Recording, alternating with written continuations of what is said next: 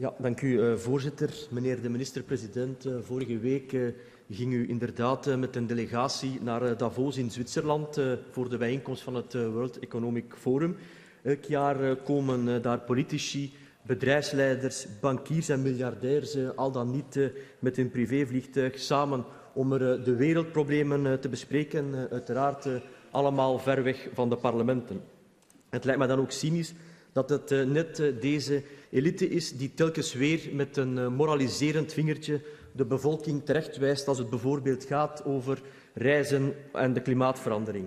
Pittig detail, de superrijken die met hun privévliegtuigen van en naar Davos reizen zorgen mee voor een CO2-uitstoot die gelijk is aan die van 350.000 wagens op één week tijd.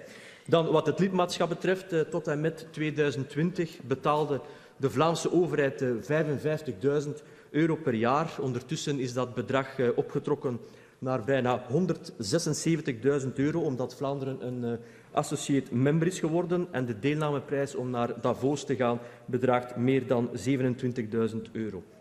Meneer de minister-president, vanuit Davos maakt u bekend dat buitenlandse bedrijven in 2022 voor een recordbedrag van meer dan 5 miljard euro hebben geïnvesteerd in Vlaanderen. En dat is goed nieuws natuurlijk.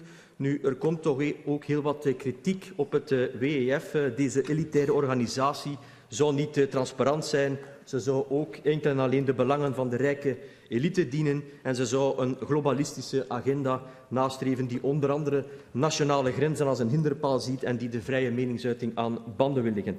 En daarom volgende vraag. Kan u de resultaten van uw bezoek dit jaar toelichten en op welke manier tracht u te voorkomen dat de extreme globalistische agenda van het WEF ingaat tegen de belangen van Vlaanderen. Dank u.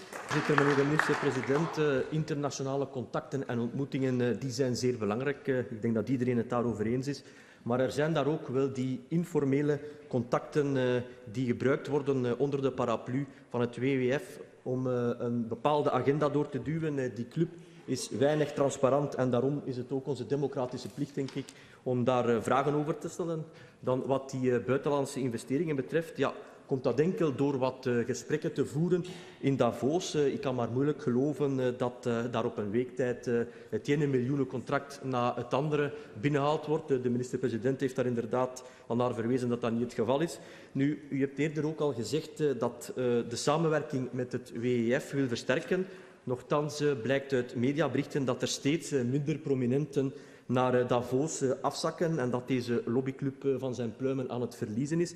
Klopt dat volgens u en ja, waarom wil deze Vlaamse regering dan nog inzetten op een versterkte samenwerking? Ja, dank u voorzitter. Meneer de minister-president, ja, natuurlijk zijn jobs belangrijk voor het Vlaams Belang.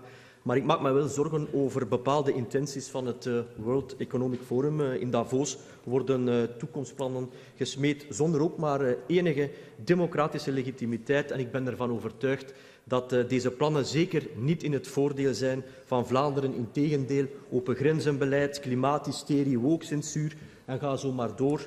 Ik vind dat we deze schimmige lobbyclub dus zeker niet mogen beschouwen als een gewone lobbygroep of een normale netwerkorganisatie. En daarom roep ik de Vlaamse regering op om niet blind te zijn voor deze linkse globalistische agenda van het WEF en vraag ik ook om op zoek te gaan naar alternatieven. Het lijkt mij dan ook niet meer dan logisch dat deze Vlaamse regering het huidige lidmaatschap durft in vraag te stellen en erover waakt dat er aan onze democratische waarden niet geraakt wordt.